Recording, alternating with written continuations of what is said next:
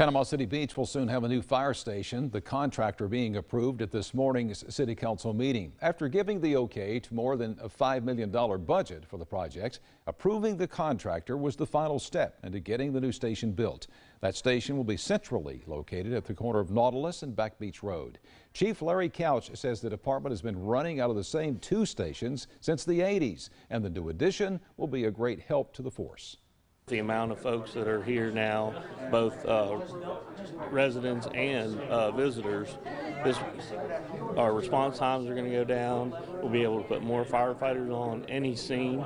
So it, it's a great thing for the, the community. And this new fire station will be state of the art, will be built to the current uh, building codes and hurricane standards where the other two uh, are not. And uh, so we're very excited.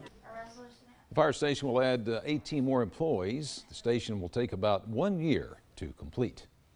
Also at the council meeting today, Councilman Jeff McConnell proposing a post-mortem that will review how the city and different departments handled the hurricane. McConnell says he wants department heads to talk with their staff members and discuss what went wrong and what went right during Hurricane Michael. He says this way, in case another storm like that happens, hits Panama City Beach, they will be prepared. It's like anything else. Once you experience something and you see firsthand uh, what can occur and what your response is to it, um, you can learn from that and do things better in the future. So I think we're going to be much better prepared going forward. During the meeting, the City Council applauded the different departments for their work in Hurricane Michael and believe this will help everyone perform better in future disasters.